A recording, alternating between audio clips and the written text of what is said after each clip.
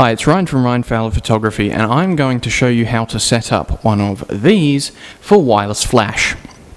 Uh, this is the Canon 600EX RT Speedlite and I'm going to show you how to set it up both optically and radio transmitter with one of these, the ST-E3 RT radio transmitter from Canon. Um, so first thing I'll do is I will flick this on and as you can see it brings up just the standard ETTL um, electronic through the lens metering system. And let's just say that that rarely ever gets used. Um, so to set it up for wireless flash you're going to hit this little um, sync button which is the little arrows.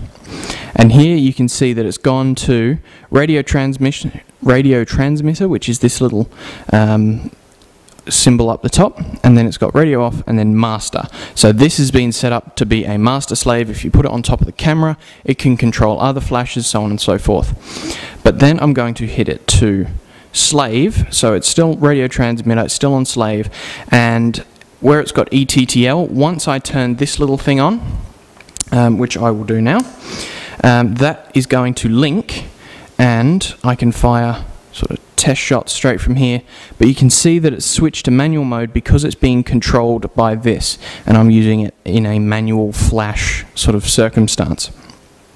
Um, you can do a lot of the controlling from this little thing, which is really cool.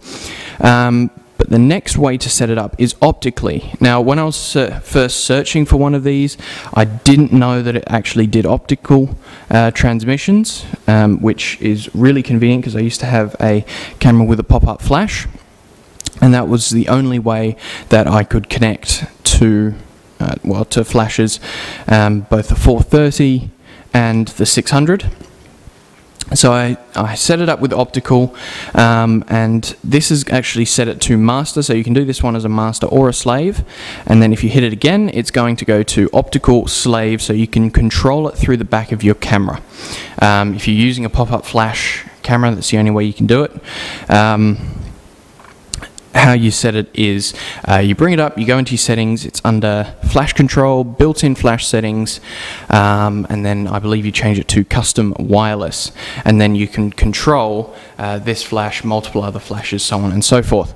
So um, I'll hit that back, it's gone back to normal mode, I'll turn it back into slave, which is how I usually use it, and I've got it set on channel 1, so it corresponds with this, um, and then it's set to being slave A, which uh, I've set this to channel 1. It's a lot easier to set it um, to an individual channel, which I'm more of a fan of just because it, it, give, it feels like it gives me more control.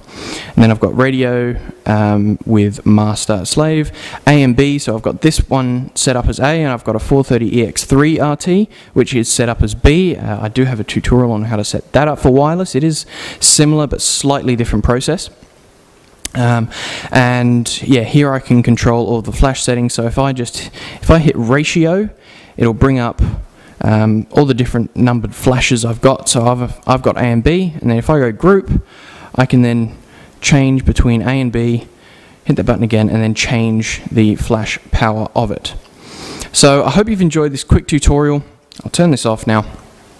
Um, please do like, comment, and subscribe. Let me know what you think. I hope this has helped and made it a little bit easier to sync uh, your 600EX RT flash with your camera or the um, ST radio transmitter from Canon. Uh, I will see you in the next video.